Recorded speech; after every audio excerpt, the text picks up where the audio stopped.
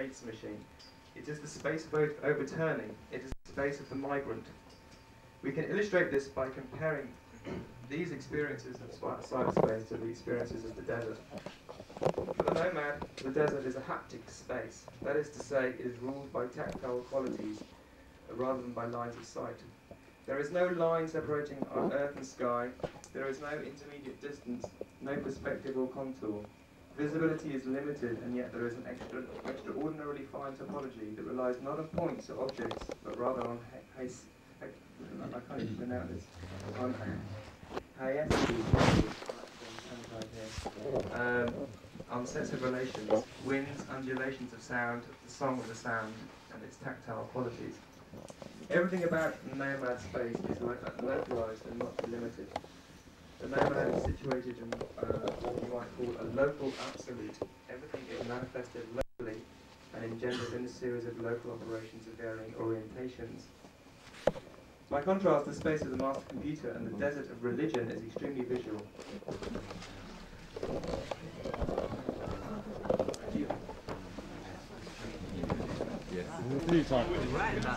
Anyway, this is the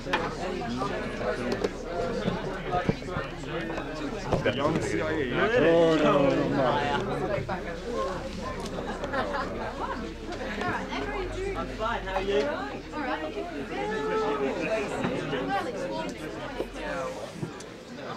Going to the brown When's area. coming up? Are they coming up next month? What are you Find done? out this perspective. Just come on, listen to the to that panel.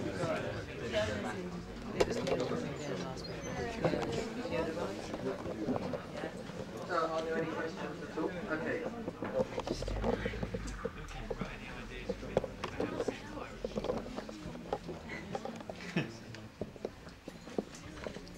Did you repeat the question?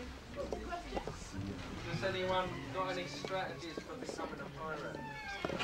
Does anyone know anything about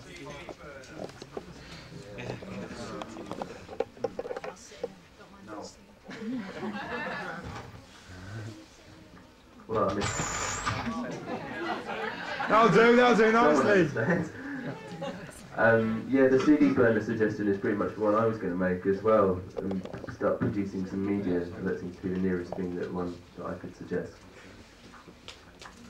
Um, yeah, this is one that really troubled me when I was writing my paper, actually, um, because um, always really worries me whenever I'm trying to write a piece of analysis that, that it's always a total waste of time, that, that what I should be doing is spending my time thinking up strategies, but I'm really terrible at that.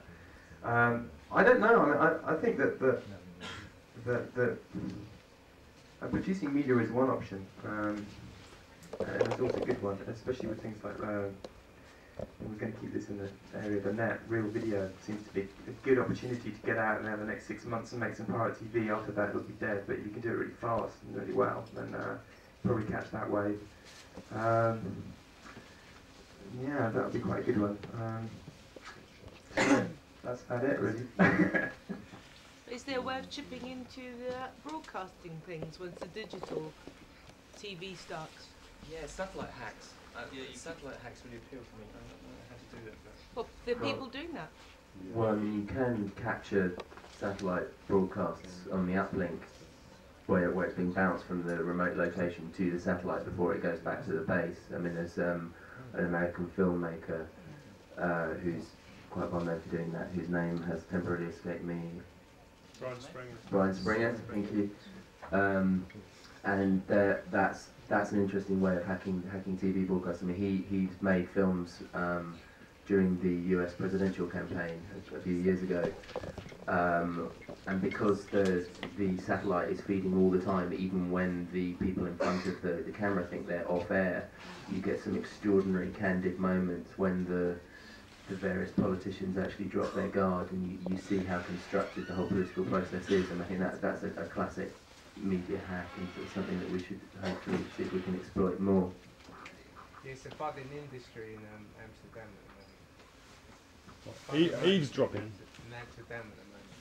I saw, saw it last year, yeah, live. In a room smaller than this, about half the size of that room. It's like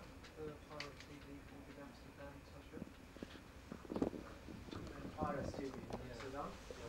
So the basically they are uh, they is a registration uh, based on the CATV and public access. But uh, as for concerning radio, uh, that is completely pirates and illegal. Maybe, do you think you could talk a little bit, just mention to people a little bit about Mini FM in, in, in Tokyo? Most people here won't know what that is all about. Uh, the pirates radio or pirates broadcasting that narrowcasting in Japan is uh, completely very different from European society because the Japanese law of the frequency of uh, broadcasting is very rigid.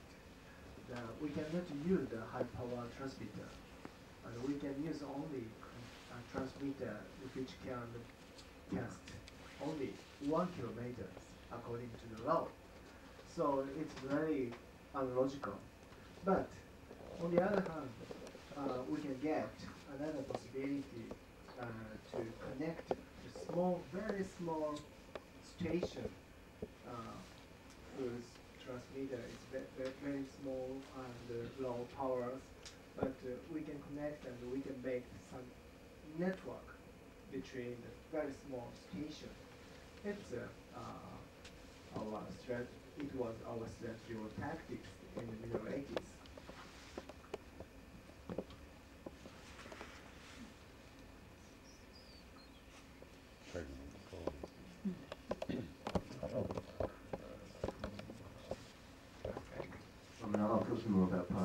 To fill the dead air time.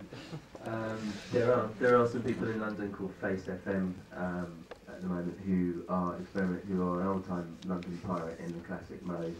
It's it's jungle all through the week and then it's house music on, on Saturday nights. But they've um, they've recently hooked up with some Americans and uh, they've uh, they're they're starting to experiment with uh, transmission via ISDN lines and using the web uh, to make them an international pirate station, still with the, the same ethos. Uh, and I believe that their strategy is going to be live broadcast over over a website and uh, with with a whole lot dumped to a digital format, and then rebroadcast the next day um, on via traditional radio broadcast.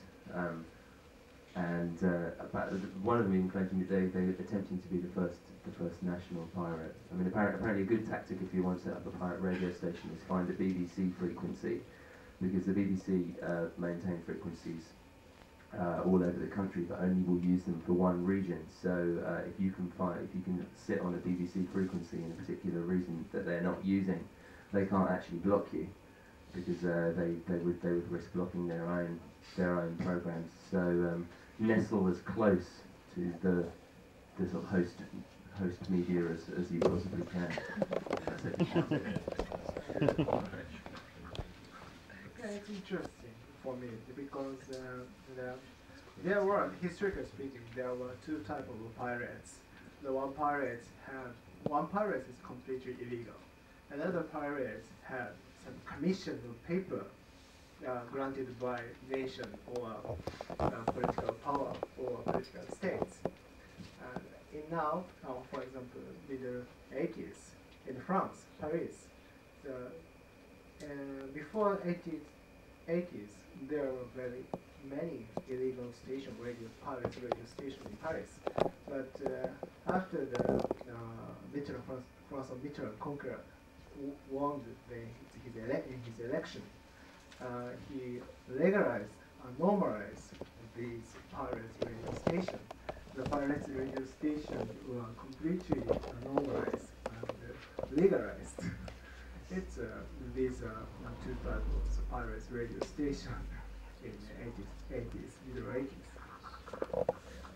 One, one thing that occurred to me is, is that um, the, the act, acts of um, resistance, you know, piratical resistance that would be interesting now would probably not be against governments, but against capital uh, in its basic structure. So that uh, um, these uh, ways of, of getting by um, local broadcasting laws, it's, it's, um, it's fun, but it's sort of like uh, engaging with a straw giant to a certain, to the extent that um, the, the, uh, the nation state is, is losing its definition and losing its power vis-à-vis the entire, the, the totality, which is capital. So that, um, you know, pirate radio is, is great, I love it, I do, you know, we got, I got one right across the street from me in New York, so I'm over there a lot. And uh, it's called Steal This Radio. Um, and it's, it's certainly a lot of fun, and you actually can say things on there. It's, it's gratifying for me. The first thing I did was try to remember as many of the seven deadly words, you know, the ones that the FCC won't let you say, like motherfucker and cocksucker. Um, uh, shit, uh, and four others. Uh, um, is that right? Yeah. Uh, yeah, take the piss out, but that's a Briticism that that sounds very weird in America, actually. Um, uh, but, um, the interesting thing that's happening with the Steal This Radio radio thing, and also the one in Berkeley, is that the state hasn't closed it down. I mean, there was an article in the New York Times, uh, which practically gave the address of this place, and I was really worried, because the station is in a squat, and some squats have definitely been crushed by the police lately in New York. There was, in fact, literally crushed, uh, with a big ball and hammer thing. And, uh, so I thought, when the story about the radio appeared in the New York Times, I thought, oh shit, we're gonna have tanks in, in, on my block, you know? Uh, but it didn't happen. So I'm wondering, you know, just what, how much of an engagement, uh, pirate media is, because it's completely recuperable by capital, to the extent that there can always be a channel, uh, for the most dissident lifestyle that you can possibly imagine. You wanna dress like, uh, pirate? Go ahead, dress like a pirate. In fact, we have a whole outfit ready to sell to you, you know? And, um, uh, so I think we need new, a new concept of piracy, which will turn against capital, which was in fact already one of the origins of capital, was piracy. So there's a, you know, that, as, I've been thinking a lot about Blake because I'm staying in Lambeth. And he said that every, everything has its form and its spectrum. I suppose you could say uh, dialectically would, would be, you know, it's, it's positive and